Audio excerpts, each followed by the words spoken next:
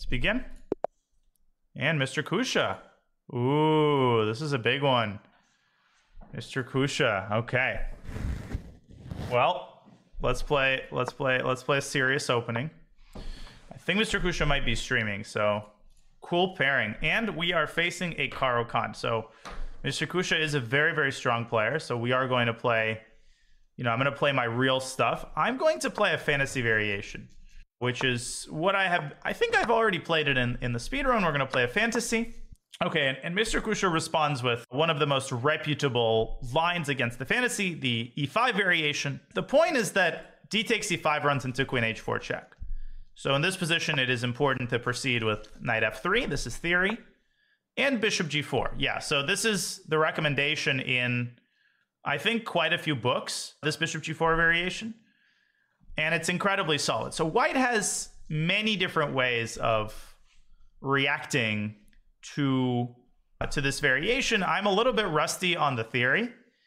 But as far as I remember, the move in this position yeah, so bishop c4, bishop c4 is a move, and it's actually, I think, the main move, uh, threatening bishop takes f7 and knight takes c5.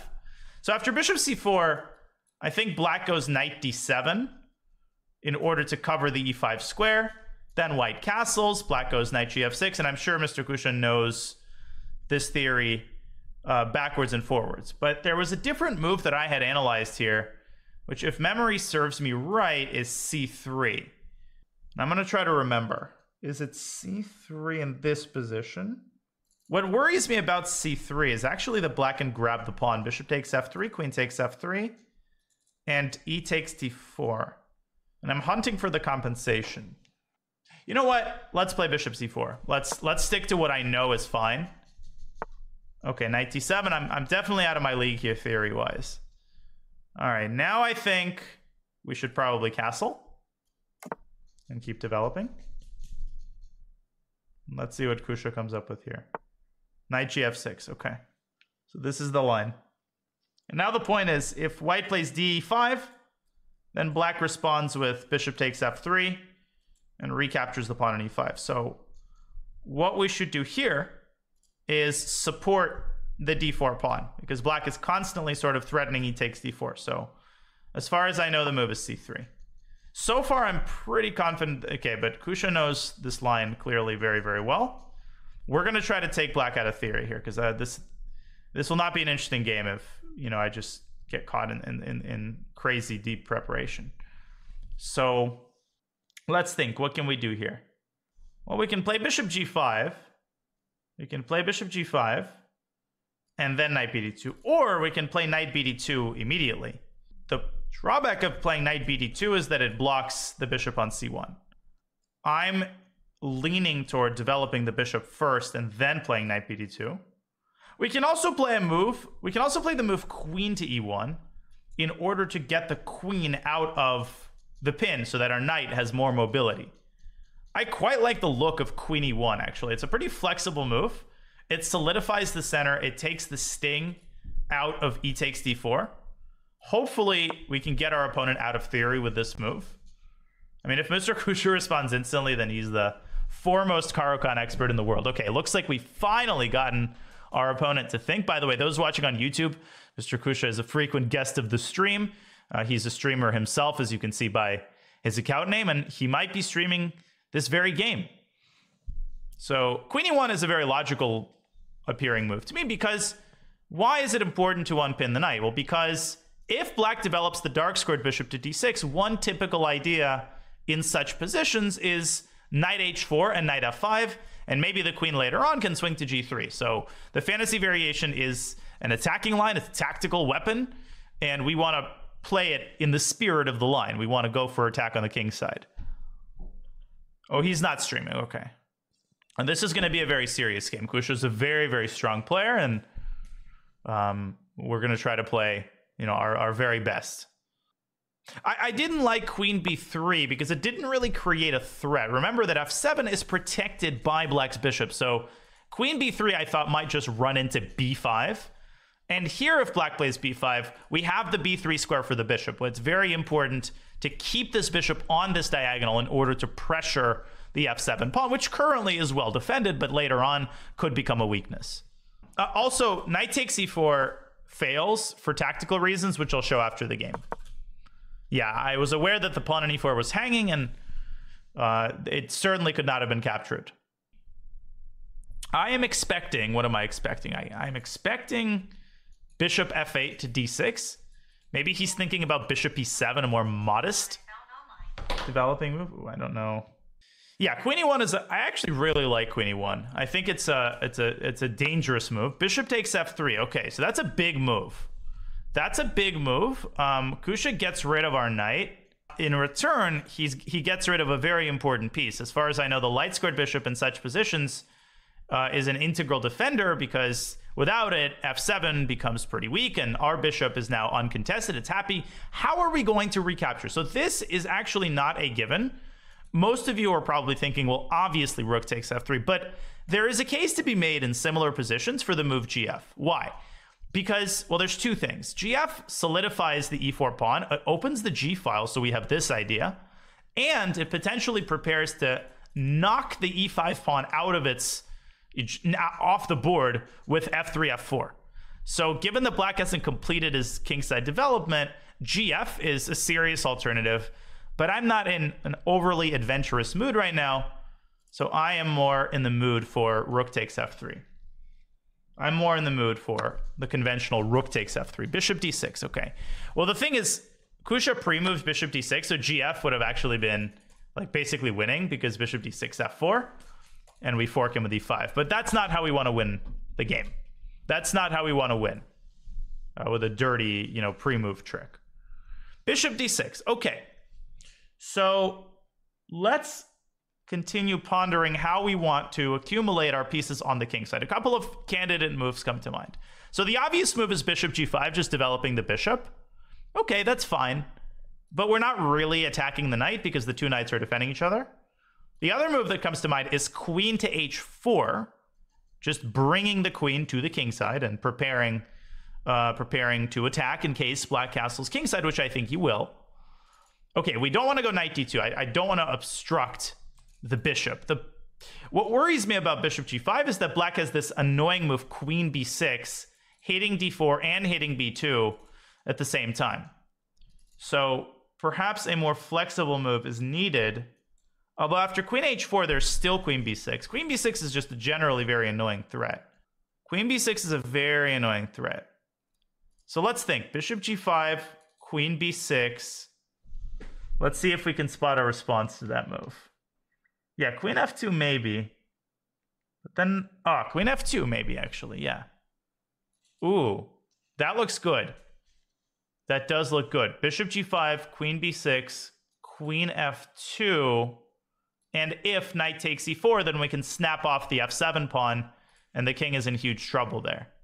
Okay, I'm sold. Let's go bishop g5. I mean, this is a little bit flimsy the way we're playing this is flimsy, but it's it's the fantasy variation. You know, what do you expect? It, it is also potentially very rewarding because we have the center. If we manage to complete our development successfully, we're going to be better, no question about it. But we run the risk of our center collapsing, and if our center collapses, we'll be in huge trouble. If we lose the d4 pawn, Black's knight is going to jump into this juicy e5 square, and we're going to be dead. So very important to be accurate here with white. I will be honest, I'm regretting I'm regretting not playing GF. I think GF was better, actually. I think GF might have been better, but we'll roll with it. Bishop G5 is on the board. Too late now. All right. So what am I expecting here? I'm expecting either castle's kingside or queen b6. There's probably other moves. Black could throw in h6. We're just going to play bishop h4. I don't really know who this benefits at this point. The Next move, of course, is knight b1 to d2. We want to complete our development. It would also be kind of nice if we could throw in the move king h1 so that in case black does play queen b6, we don't have the additional worry of the pawn on d4 being pinned. We have a little bit more flexibility in that case. But yeah, Kusha is probably deciding between these these moves.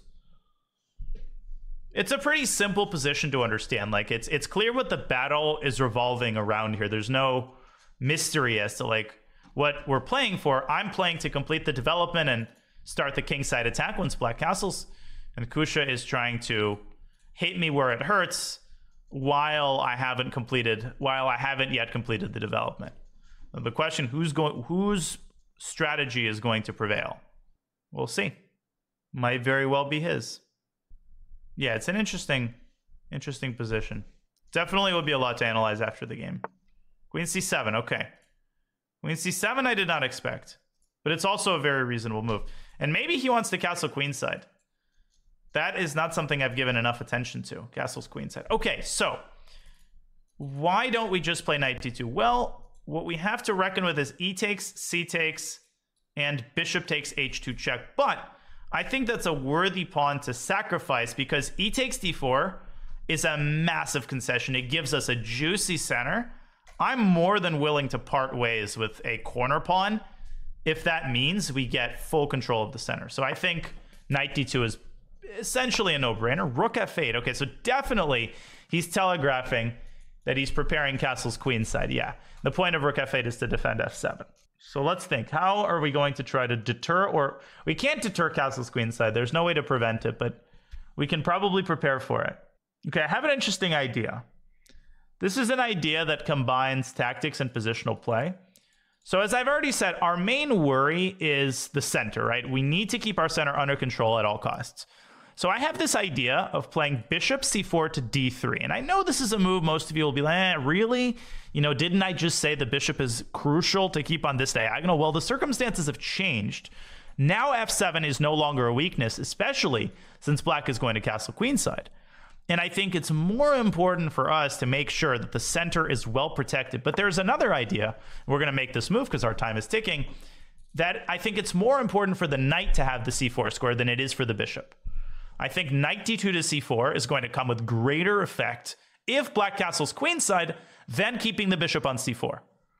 And it's also a very solid move because what am I anticipating? I am anticipating him putting a rook on e8 after he castles queenside. And so our pawn on e4 is going to be nicely protected in that case, leaving the knight free to pursue a more active agenda on c4. What is it doing on c4? Well, it's obviously pressuring the bishop and the e5 pawn. And I absolutely will take that bishop to give us two bishops against two knights if he allows it. Yeah, of course, I'm not excluding the possibility of a pawn storm, but pawn storms are slow and cumbersome. They're generally overrated. And it's not like if we get a pawn to a6, it's checkmate. You know, people have a hard time understanding that. Pawn storms are very cumbersome devices. It usually takes three moves to get your pawn to where it wants to be. And then it's not like it's made. You actually just provoke weaknesses. Then you actually have to mount the attack. I've talked about this before when there's an opposite side castling situation, a lot of people just sort of indiscriminately go, all right, it's time to go b4 and a4 and b5. That's not the only way to approach opposite side castling positions. You can also play with your pieces. That's not forbidden. And that's what we're doing here. Knight d2 to c4. Notice that we're still sacrificing the h2 pawn. If he wants, he can still play ed, bishop h2, but nothing has changed. We will still have a monster center, and black will have logistical problems getting the bishop back out of h2, as I'll show you after the game. So the caveman attack has a time and place. Am I saying, you know, you never pawn storm? Absolutely not. Pawn storms are great, but not in every circumstance. Rook d8, great move. Kusha playing extremely well as expected. Let's think. I'm just going to think in silence here for a bit. I think I know what I want to play, but I'm confirming. Okay. I'm going to make the move queen g3. And everybody should understand the intention of this move. Um, the intention of this move is to prevent e takes d4. Now you say, wait, wait a second. Didn't I just say that I want to encourage e takes d4? Well, again, this is a very dynamic position. What does it mean for a position to be dynamic? It's a lot of things change on every move. I think that's a good definition of dynamic. That means stuff that was true in the previous move is no longer true. Things that weren't a threat are now a threat. I'm now a lot more worried about e takes d4 because this is an x-ray against my queen. You can already probably spot knight takes c4 and f5 related ideas. So now e takes d4 is a bigger enemy. And so queen g3 gets the queen onto a good square and it prevents e d4 because knight takes d6 wins the bishop with check. If black plays knight h5, which probably worries some of you, it's not something to be worried about. The queen can tuck itself away on h3, And h3 is a great square. It's out of the way of the other pieces, and it's x-raying the knight on d7. And uh, I, I like the way that I've arranged my pieces here. I think we're starting, maybe I'm going to jinx it, but I think I'm starting to get control over this game. Uh, but there's a ton of work yet to be done. Both of us are taking quite a long time, so this might actually come down to a time scramble. No, I think I think at this point white is definitely better, but black is incredibly solid. That is the Caro-Kann after all. Okay, rook e6. I am aware that it's a move, but rook e6 we can take the bishop. Rook e6. Remember that we can also take the bishop. It's like jumping off at the last moment, right? We can take the bishop when we want to take it. Yeah, very tight. And notice the work that's being done by the bishop on d3. It's a purely defensive piece. Defensive pieces are underrated, right? And that's why I put it there so that it defends the pawn on e4. You don't have to worry about it. Knight g8, okay. So I guess Kusha wants the move f6 or maybe even f5. Hmm, interesting. I'm going to take another couple of moments in silence here to think. This is very complicated even for me. I'm not hiding that. So this the, the, the tempting move to me is rook a f1, but that kind of runs into f6. That kind of runs into f6. So maybe we don't, I mean, black can play f6 anyway, but maybe we don't want to provoke it. Maybe we want to drop the bishop away from g5. How about that idea? Bishop e3. Ah, I like bishop e3 a lot. Why do I like bishop e3 a lot? Because again, it solidifies the center and it attacks the pawn on g7. I like the look of bishop e3. I think the bishop has done its job on g5. It's now time to adopt a more defensive posture. Now the pawn on g7 is hanging. That's our first threat. And g6 is a pretty significant weakness that perhaps later on we can try to exploit. Looks like black's position is just starting to show some cracks, but we have to figure out a way to exploit those cracks. Now, f5 is not a threat. We can take the bishop, but I don't think there's any hurry. Maybe there is a hurry. Maybe if we don't take it, the bishop will drop back to e7 and I'll regret it. So one idea that I have is to play rook a f1, induce the move f6, then take the bishop, and then reposition the bishop back to c4, or move the queen away to h3. Or start pushing the pawns and launch the pawn storm. Hmm. a4 even here is pretty tempting, by the way. Just pushing the pawn, creating, you know, grabbing space on the queen side. All right, my gut is telling me what is I, my gut isn't actually telling me anything. okay, let's go rook f1. Let's start by doubling. We have to also speed up a little bit. Kusha is a very fast player. Okay, I have an idea to play queen h3 and x-ray the knight. How about that? Let's go queen h3 attacking h7 and x-raying the knight. Why is it good to x-ray the knight? Well, what is the knight doing? Well, one of the things the knight's doing is it's protecting e5 and it's protecting f6. So queen h3 puts more strain on those pawns. And that may lead us to an unexpected tactic, right? When you're putting a lot of strain on your opponent's position, that's what creates the preconditions for a sudden tactic that might seemingly come out of nowhere, but it doesn't actually come out of nowhere. It's just because you've been pressuring and pressuring, and eventually something's got to give. Why not queen h3 before rook f1? I mean, it was possible, actually. Maybe it was even better to play queen h3 first. But I wanted to induce another weakness. I wanted the pawn to sit on f6, which restricts the mobility of the knight on g8. Maybe the immediate queen h3 was, in fact, better. I don't know. It's hard to say. Am I worried about black pawn storming? Not particularly. There's not too much that I'm worried about in this position. I think we're super neat and tidy. And I don't see any danger to my own king. Okay, we're also getting Kusha to think, which is good. The time is ticking down for both of us. And we're only 18 moves in. Yeah, I'm regretting a little bit. Well, no, rook af1 I think cannot be such a bad move. I mean, after all, we're bringing the rook into the game. All of our pieces are doing something which basically means yeah, we can't really be worse here. Yeah, everything's going on on the center and the king. So the queen side is a dead zone right now. Rook e7, okay. I think that's a tactical blunder, ladies and gentlemen. I think I think Kusha has just given us a chance to win material. Now, I mentioned previously that we're x-raying the knight on d7. Well, what move becomes uh, more serious now that we're doing that? Well, the move d takes e5, which previously just allowed black to occupy the outpost, now needs to be considered. So we are going to play d takes e5. Knight e5 is illegal. F takes e5 loses the rook on f8, hence the reason we doubled. And bishop takes e5, what do I notice? I notice that there is an alignment of the two rooks. What does that tell us? Well, we should look for pins. Bishop c5, but that blunders the bishop. No, it doesn't because the knight on d7 is pinned. We are going to play bishop c5. Now there's a, yeah, bishop h2. I saw that move. And of course we play king h1. Of course we play king h1. We don't take on h2 because then black takes and takes c5. I did see that move. And this game is also not over. This game is far from over. I think we're technically winning after this, but black still has a very solid position, so we still need to demonstrate some good technique. Bishop e5. Now, okay. So we have several ways to approach this. We have several ways to approach this. I'm trying to find a knockout blow. I'm trying to find a win. So we could take here, and then the queen takes. Let's take the rook. Let's take the rook. We could take this pawn, but then I'm really worried about a pin down the h-file. The other candidate move is to take on e5, induce, queen takes e5, and then shift the rook over to d1 in order to mount pressure on the knight on d7. I'm also very tempted by the look of queen to e6. I mean, look at how sexy that move looks. Queen e6, are you kidding me? Sticking the queen right into black's grill. Doesn't that look good? Let's go queen e6. I'm just playing this is a purely intuitive move. I did zero calculation, full disclosure. It just like, it's just begging to be played. I mean, it just like puts so much additional strain on black's position and it, it just keeps the initiative going.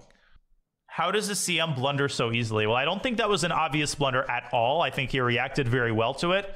And this has been an incredibly complicated game handled very well by our opponent. So let's relax. So rook f6 almost works. Rook f6 almost works. Knight e5, queen e5 I don't want. Queen f7, queen d8. Wow. Hmm, let me think. Rook f6, bishop f6, knight d6, king d8. We have a draw. Obviously, I don't want to draw. We want to win. Oh! Oh my gosh, I see something really cool, but does it work? Oh man, this if this works, this is going to be really pretty. I don't know if it works, though. It's got to work. I'm thinking about something really, really pretty. Let me just calculate. Yeah, I'm gonna go for it. I'm gonna go for it. Rook takes f6. You guys are all seeing it, so I won't even introduce it. Rook f6. Yeah, but it's not as easy. I know most of you think this is easily winning, but it's actually not. And I'm pretty sure we're gonna follow the line, the best. He's gonna find all the best moves because there's not really not much of a choice for black. So I'm still thinking about how to win in the critical position. It looks completely winning, but it's somehow black is surviving there. I don't even understand how. Yeah, now knight d6, intermezzo, and rook takes f6. And rook takes f6. If knight f6, black gets checkmated. The problem is black has rook f8, and somehow black is holding on for dear life. Okay, I think I see the... No. Man, it's frustrating. Every time I think I see the win, some dumb defense pops up. Yeah, rook f8, knight f7, king e8. And again, black is surviving. Ah, but then maybe rook f3 simply. No, rook f8 and knight f7, then king e8. No, no, no, no. Knight f7, king e8. I, I'm, I'm leaning toward knight f7, king e8, and rook f3. I think that's got to be winning. I think it's got to be the win. I mean, there's knight f7 you can play without any risk. Because if king c8, then queen takes c7, and we hit the rook. So knight f6 doesn't work. So king e8 is forced. Of course, black can also sack on f7, but then we're simply up a full exchange and we're mating. So now the idea is to play rook f3. This is a move that I'll have to explain in depth after the game. Basically, I'm trying to keep the tension and I'm trying to keep the pressure on black's position fully alive and I reserve the ability to play knight d6 whenever whenever I want. So the knight on d7 is immobilized because if it moves, then knight d6 leads to an instant loss. The rook on f8 will be lost. The knight on e7 is pinned. The rook on f8 has no prospect. So the only piece that can really move for black is the queen. The move I'm struggling to refute is queen b6, not because it does anything, but just because it is the only way to move. But in that position, we have time. And I think I can put my time to good use and activate the bishop, or I could just play b4 and restrict black even further. Oh, there's such a gorgeous line there.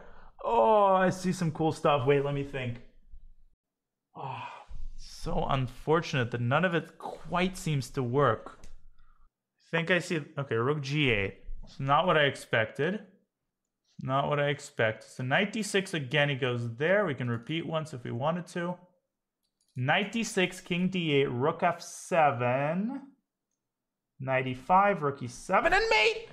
Wait, that's promising. He's got knight c5. Ah. He's got knight c5. Okay, so maybe just b4. Maybe b4 to stop knight c5. I think b4 makes sense here.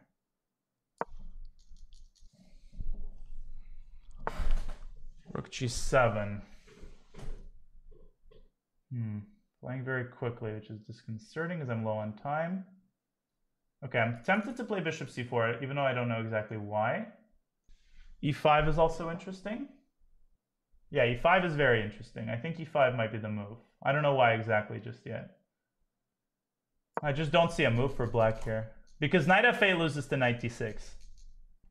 Yeah, I think e5. What does e5 do? I mean, e5 just like drives another pawn into the position and anchors, it anchors the d6 square so that after knight d6 check, our queen is free to roam about the cabin and produce tactical ideas. Like, for example, knight d6 check, king d8, and rook f7. This post-game analysis is going to be juicy, so don't go anywhere. Um, there's so much I have to explain. So uh, my actual threat here is knight d6 check. Okay, queen b6. Now he plays it. Now he plays it. Okay, now let me think. This is I need to solve one last hurdle here. Knight d6, king d8, rook f7, takes, takes. Let's think. I think that's a win because he can't stop queen e8. If knight e5, queen e8, king c7, queen e7. So let's calculate. Knight d6, king d8, rook f7, takes, takes. Knight moves, no, queen e8. If knight e5, queen e8. If queen e3, queen e8. Oh my god, queen e3, queen e8, queen c8, knight. No, it doesn't work. Oh my god, he has queen e3 there. Oh my gosh. He's holding on. I think bishop c4 might be the move. This is honestly, it's unreal to me that there's like no immediate win. I think there is, I'm just not seeing it. A5, yeah. Okay, I could take it. Play knight d6. Maybe a3 and we go for Zugzwang. All right, I'm gonna take it. I'm gonna take the pawn. Maybe I should have. I should have just gone queen d6. It was winning on the spot. Or rook d3. Oh, rook d3 was just winning. Oh no. Rook d3 was so easy. Ay ay ay. That's criminal that I didn't see that. Let's just check. Yeah. Okay. I guess rook f1 and rook d1. Maybe I can repeat the same idea. No, but rook. Huh. Okay, let's go rook f1. This is simply phenomenal defense by Kusha. Just phenomenal. The way he's surviving this is crazy. But I think his time might be coming to an end if I can find like one more move. And I think that one more move is rook to d1. We switch to the d file. And the point is that if the knight moves, we mate on d8.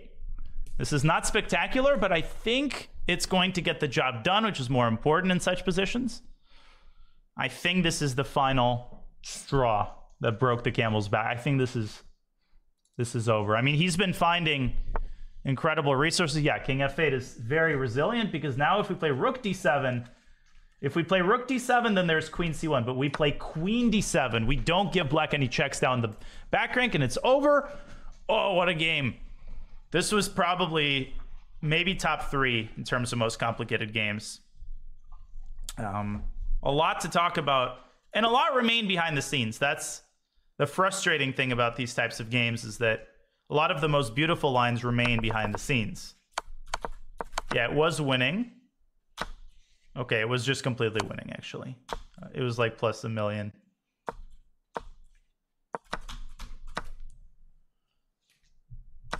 Okay, GG, GG Kusha. So this was a Caro-Kann. We played into the fantasy variation. I don't really know whether I had business going into the fantasy without having reviewed it prior, but I was hoping that Kusha wouldn't go into this line, take stakes in e5. Now, we have mostly faced in blitz and stuff the move e6. e6 is, I think, the most popular move these days, and it leads to uh, kind of a French like structure, which is not to everybody's liking. The main line is knight c3, bishop b4, now very fashionable, is the move bishop d3, which is a pawn sack. Uh, it's a pawn sack, black can take and take on d4, but white gets, what does white get? White gets massive development and the f file, which can be used when you castle short. So there's a lot of theory here that you could uh, dig around, and queen b6 is even a fashionable move as well. Of course, there's there's g6, which is a solid line. Uh, but d takes e4 and e5 is incredibly principled. This is the most principled line. This is the most principled line. Yeah, Kusha, if you want to call and analyze, I'm totally fine with that. All right, sure. All right, so for those watching on YouTube, my opponent is going to be calling me and we're going to be analyzing the game together. It's going to be fun. Hey. Hey, how's it going? Going well. Uh, thanks for thanks for thanks for calling. This is I think this is gonna be a lot of fun. It will be a great honor for me and a great opportunity. Of course, don't don't mention it. This is this is great.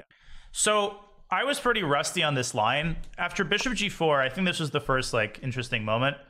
I was debating between C3 and Bishop C4. Mm-hmm. What do you what do you know here? So I know that after c3, bishop takes f3, queen takes f3, takes d4, the lines are a little bit dangerous for black, so this is not what I usually play. Uh, I actually don't know that much. Like, I think there's...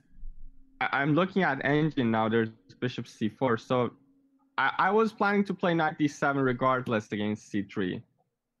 Uh-huh. Knight d7, yeah, that's sort of what I remembered. And now the bishop can come out to e2. I think this is an alternate okay. alternate development. Yeah. And then knight f6, castles. Bishop, bishop b6. Yeah, knight or... bd2. This is actually the line. Castles and knight c4. Interesting. And now I wasn't that familiar with this line, honestly. I, I haven't faced it that much. Like 90% of people who I play, they play bishop c4 after bishop g4. Uh huh. Yeah, no, I, I knew it was the main line, but I didn't know much about it. So I was on my own after bishop c4.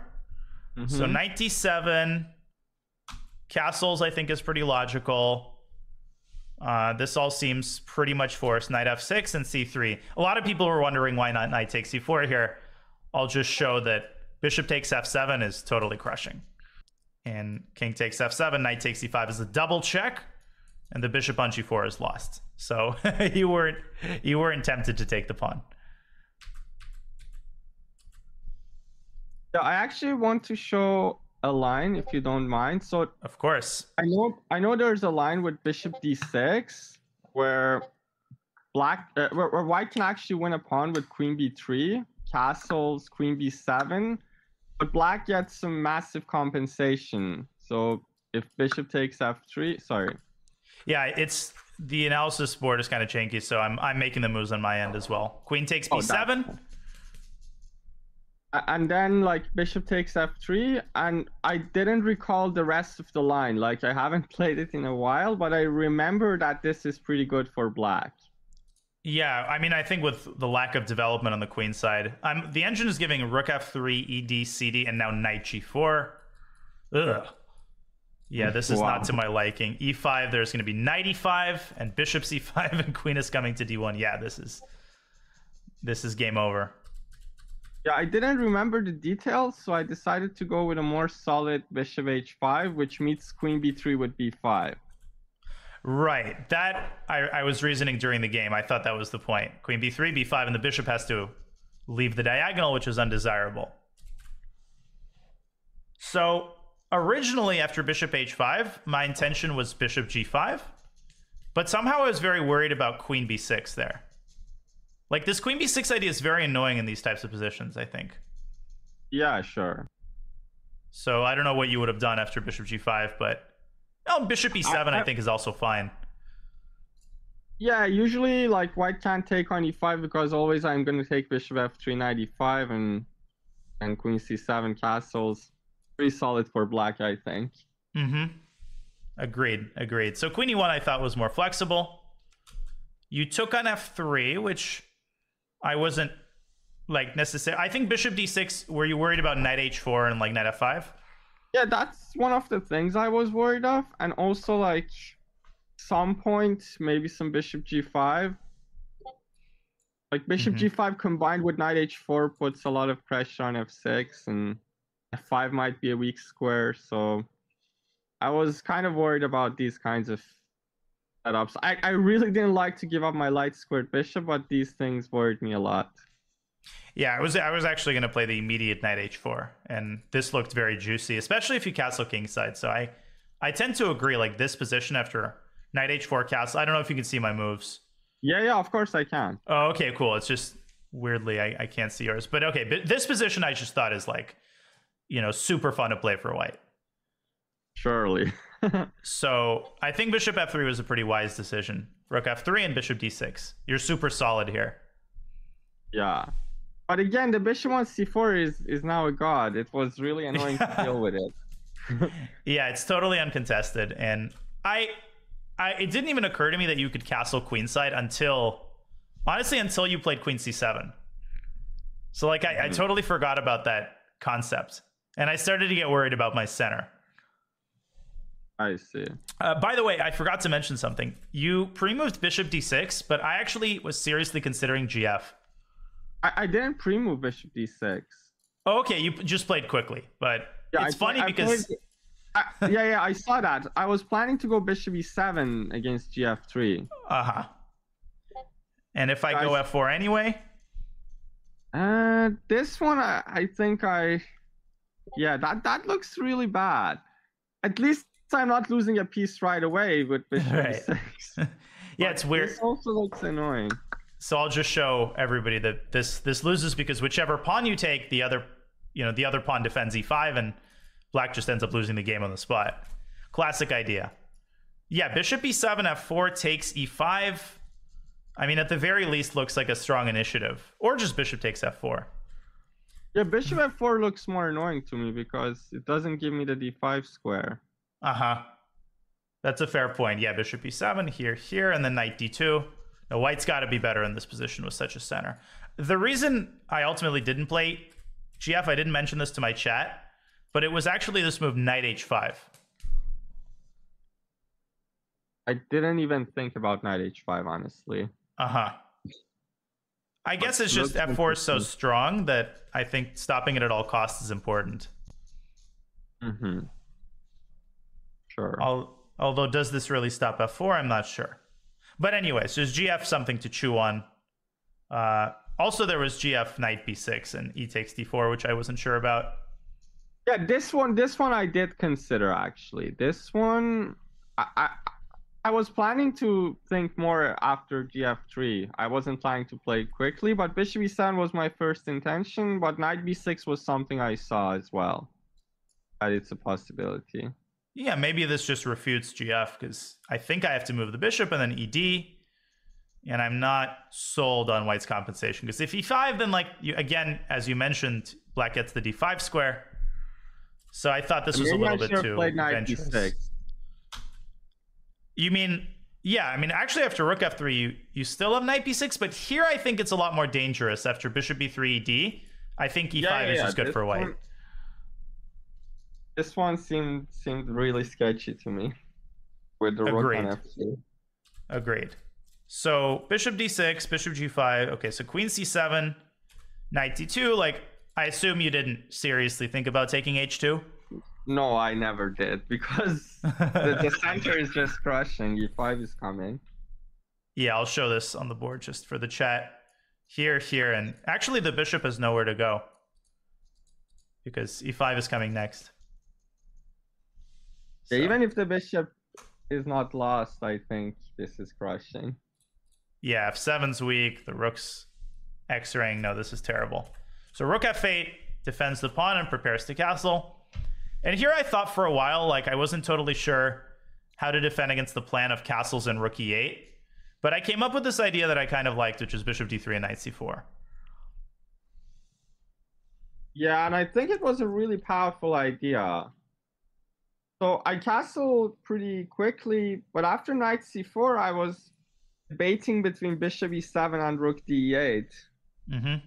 But then after bishop e7, I felt like my control over the center is not going to be as powerful compared to rook d8.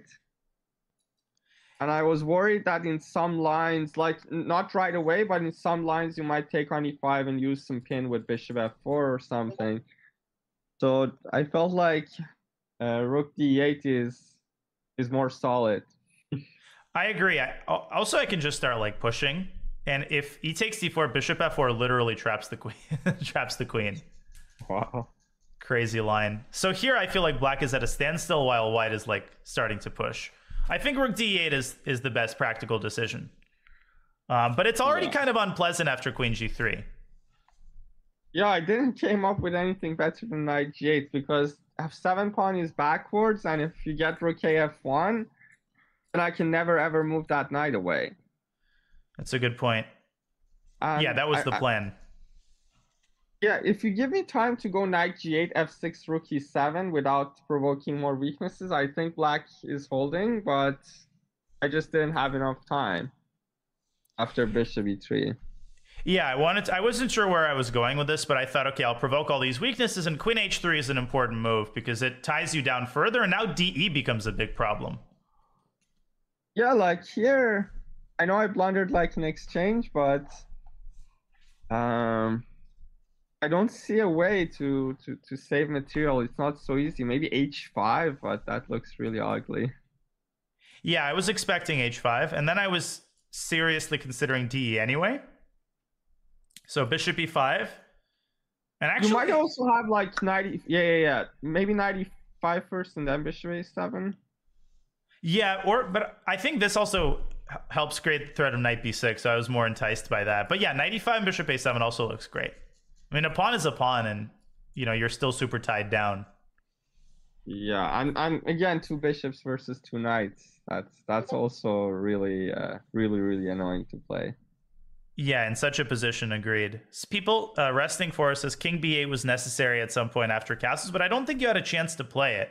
Like yeah, every... I just didn't have time. I think you played really well with uh, with initiative. I think that's that's a very good game to uh, to show to people to understand like the power of the initiative, not giving opponent time to consolidate. Yeah, I appreciate that. Uh, you defended like a monster though. After after I won the exchange, I kind of thought it was over. Uh, Bishop h2 is a really nice move. I'll just show that Queen takes h2 is terrible because there's no longer the pin on the knight, and now knight c5 is possible. So at least you get a pawn. Yeah. And I think a lot of people in this position would have just sort of taken on e5 and kind of relaxed. But if you can move your king and go knight c5, you're super solid in the center. I assume you were kind of hoping for something like that.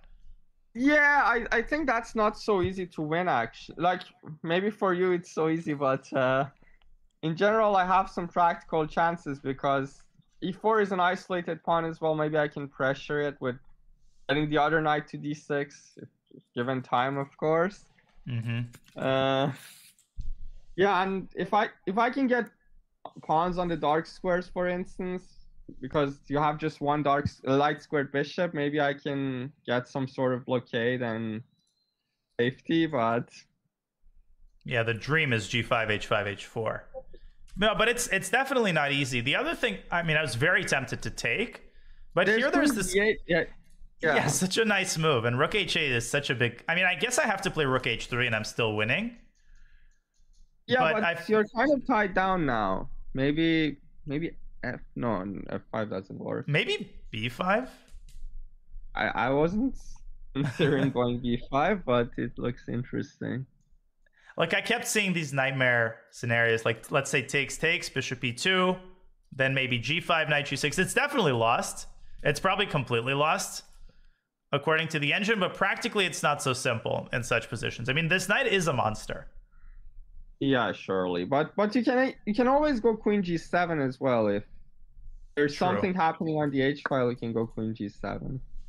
Plus, it, it hits the pawn. No, I think queen h7 is a viable alternative, but once I saw queen e6, I couldn't pull my eyes away from it.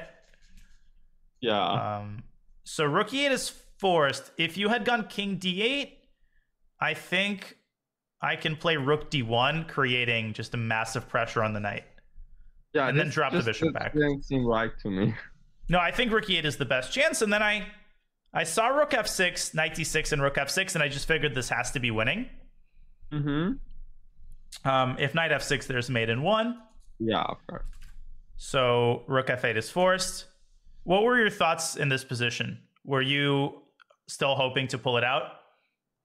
Um, I mean, if I was honestly, if I was playing against someone low rated, surely, but uh, I I thought like at least I don't see uh I don't see the win right away. That's the point. Like ju- just to give a give you a story that uh for the viewers if if they like to. I I recently had a game where I played against somebody much lower rated than myself, and I was getting mated in a situation like this. Mm-hmm.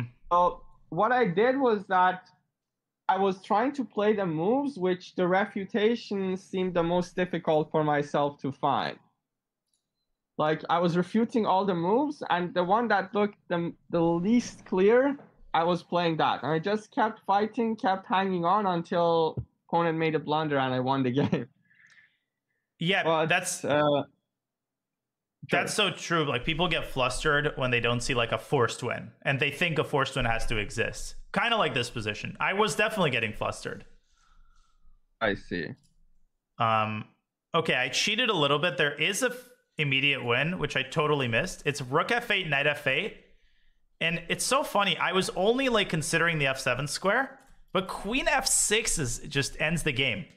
Wow. So it's knight d7, queen h8, and you win a knight. I guess. Oh, wait, Oh. what if, what if king d7? I guess just e5 is overwhelming. e5, knight e6, and what now? Bishop c4 probably. Oh shoot! I see a cool line. Bishop c4, knight c5, e6, and mate on Oh, I- f4. yeah. I mean, there's gonna be all sorts of lines like this in the end Oh, it's the game. actually mate. Jesus. Yeah, it doesn't even win the queen. It's just mate. For, for a second, I thought you're just winning the queen. Then I realized it's mate. I thought so too. I think this is all four. So bishop c4. Can you not move the knight? I guess you can go knight d5, but then I. I mean, at a minimum, just or qu- immediate queen f7 just made in two. Sure. The queen e8 is made. So this is this was the forced win. Yeah, I missed queen f6. Um, I missed queen f6. I also And didn't see that. So I decided that, like the best bet is just to keep the rooks on the board and keep knight d6 alive. It really hurts you that you can't move your knight because of knight d6 and rook f8. Yeah, exactly. That's why I played rook g8. That was the only thing that came to my mind. Just preparing some knight c5 maybe. Yeah, that's. I actually panicked a little bit when I saw like knight c5 is a very strong threat. As soon as I made a move, I realized that wait, no, bishop c4 is still knight c5. So I think I b4 was is very annoying. like I was hoping for knight d6, king d8, rook f7, knight c5. Where again, I maybe probably there's some win, but I I just couldn't see it for white. Yeah, no, here it gets very complicated, I think. I almost went for I don't know what I I almost went for some line like bishop c4 looked so tempting to me to create the x-ray, but here again knight c5. Knight d6, king d8 and it's kind of a dead end. Although there's a crazy move knight takes b7 here. Wow. Oh my No, god, I- what a move. none of these occurred to me, but uh, I was 100% sure I'm completely lost, but I was just trying to play the moves which uh, I didn't see the instant refutation to them. Yeah, you did an amazing job of that. Like before rook g7, again, I, I think I have to play like a slow move, like e5. And at this point, I mean, I'm just closing in on you. I, it's just too cramped. But queen b6 is another really good move. So here, I almost went knight d6 and rook f7. And my thought was that I'm threatening queen e8 and queen c8 mate. But then I realized the knight controls that square, and you have time for queen e3. Wow, it's actually a draw. Yeah, like queen e8, queen e7. I guess you can just you have maybe perpetual, or or like queen c1, queen h6. Yeah, this looks like a perpetual. Here, here. G1, queen e3. Incredible. So, So, so you sometimes even can save games against uh, strong players from these hopeless positions.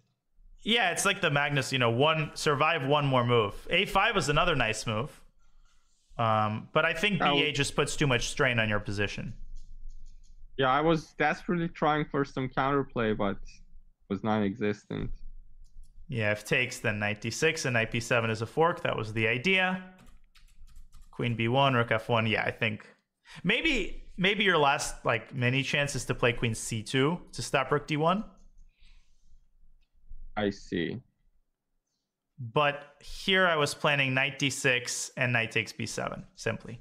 I mean, I'm also up like a million pawns at this point.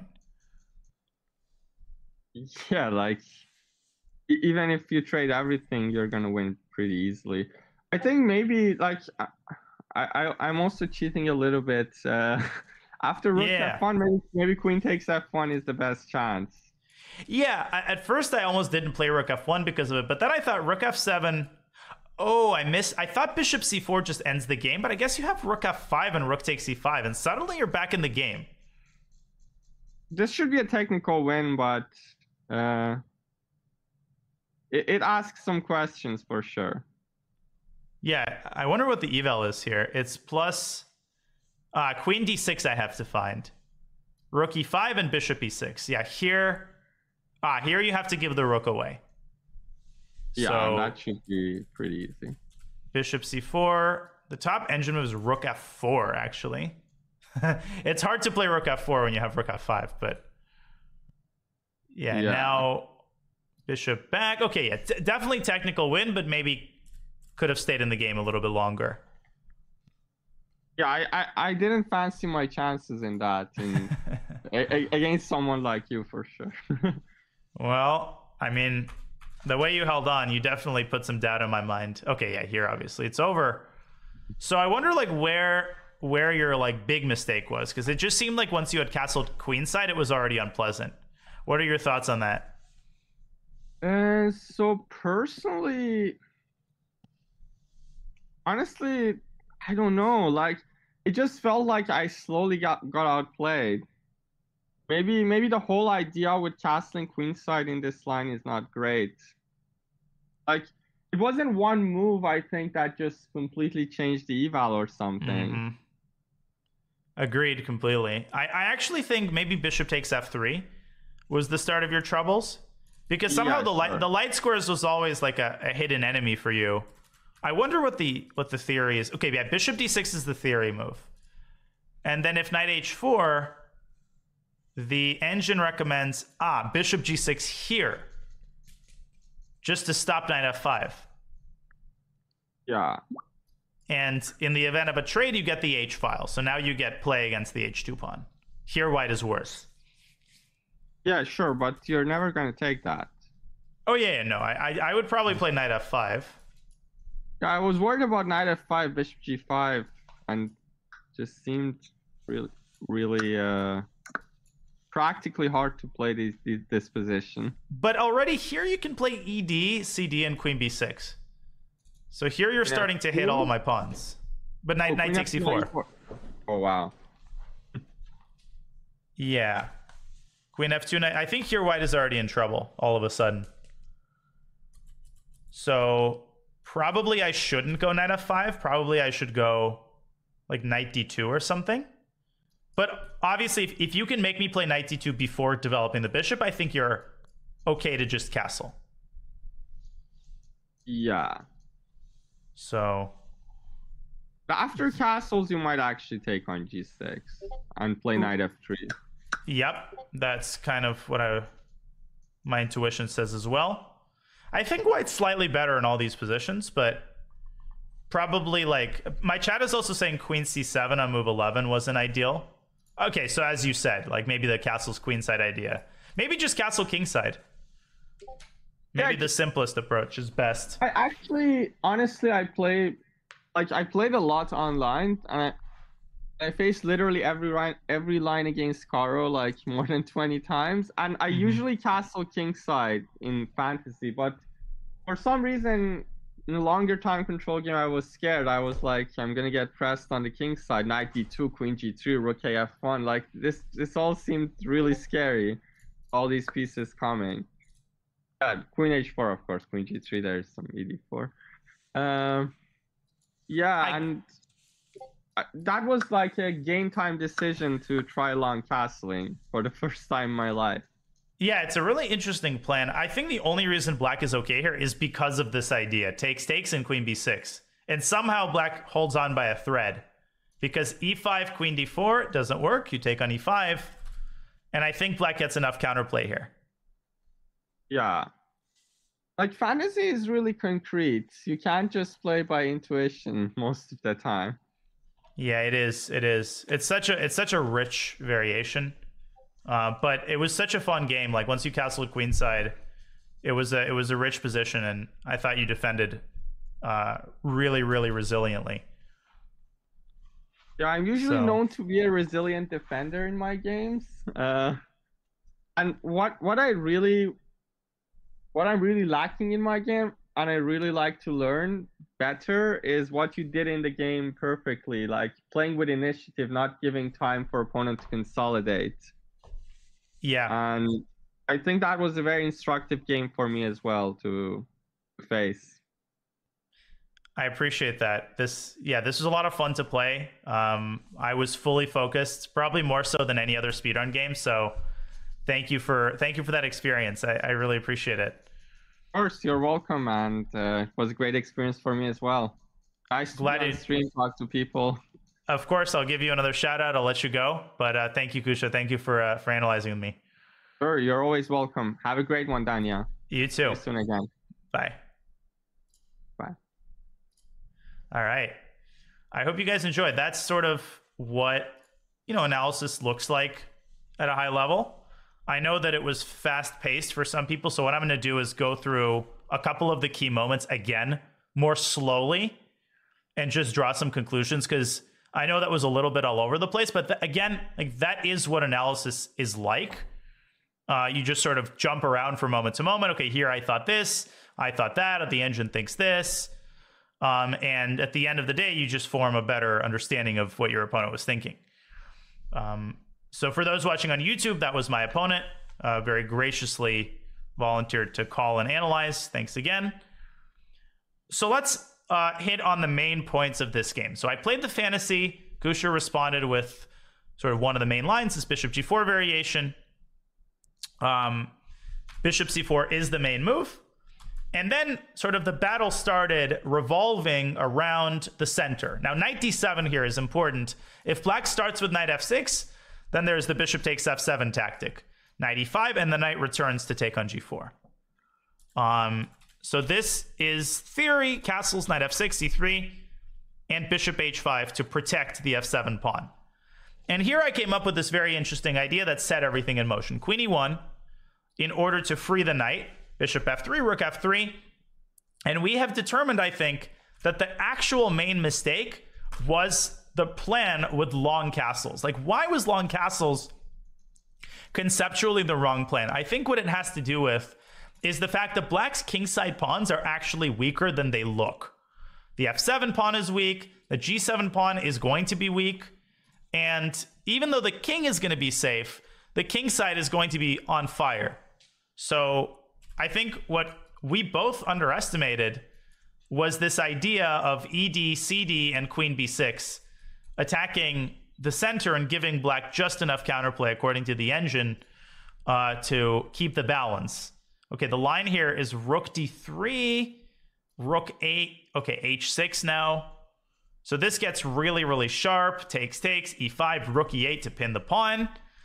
And my gut is that white is still better here, but probably this was a better practical chance than Queen C7. And I think the idea that I'm happiest with, that I'm most proud of, is this Bishop D3 move. This, I think, was a really, really strong idea because it does everything at once. It solidifies the center it puts pressure on black center and it gives us the possibility of taking the bishop and getting two bishops against two knights, which in an open board is usually really bad for the two knights, and this is no exception. Um, and then the next stage of the game was all about provoking weaknesses on the king side and putting the queen on h3, another very important ingredient, x-raying the knight and creating d takes e5 threats. Perhaps king b8 here was a more resilient move, but then we would have taken on h7, and that's a free pawn. So just uh, already a very bad position for black, but huge kudos to Kusha for defending super well after giving up the exchange. I think a lot of people would just like instantly collapse, but he found all of the best chances. I found this rook f6, knight d6, rook f6 idea, which essentially was the game-winning idea. Um, yeah, provoking weaknesses on the side opposite where the king is is good too. That's a good takeaway from this game.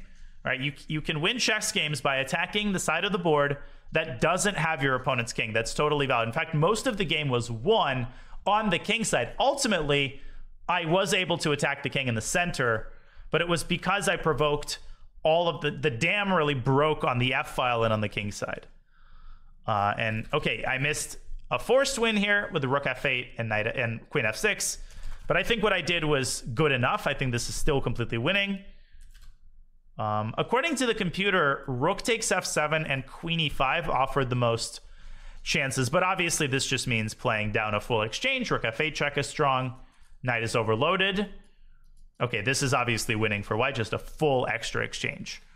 Uh, so I, I, really think I never truly left it, uh, let it off the hook. And after the rook f3, it's already totally winning. Okay, um, to, before I conclude, I'll check the accuracy because I'm getting requests to do that. All right, 89.5 to 80.4. So pretty high level game. Um, not without mistakes, though, obviously. There was one question what about queen g3 instead of bishop g5? So queen g3 here, I think black can simply castle. Yeah, and if you play bishop h6, then the knight can drop back to e8. I don't think this is the end of the world because e takes d4 is now a big threat. The queen on g3 is actually quite misplaced uh, if the bishop on d6 is not under fire. In the game, there was a knight on c4 that was attacking that bishop, so it was safe to put the queen on g3. But here, I think queen g3 black can castle. Black does not have to play knight h5. Uh, actually, knight h5 is a huge blunder because of bishop takes f7. So, anyways, hope you enjoyed the game, guys. Thank you to Kusha once again. This will be up on YouTube. And I will head on out. Thank you, everybody, for watching, and uh, I'll see you tomorrow. Bye.